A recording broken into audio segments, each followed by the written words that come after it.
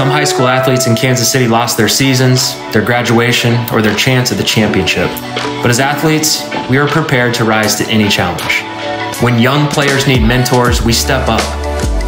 When your community needs to be cleaned up, we answer the call. When it's been 20 years since a championship, we lead the charge.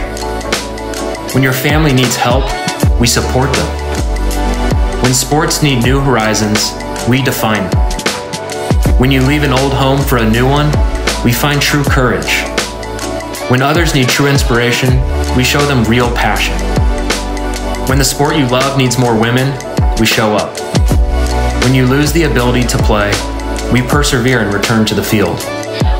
This year is about so much more than wins and losses. It won't be defined by trophies or banners.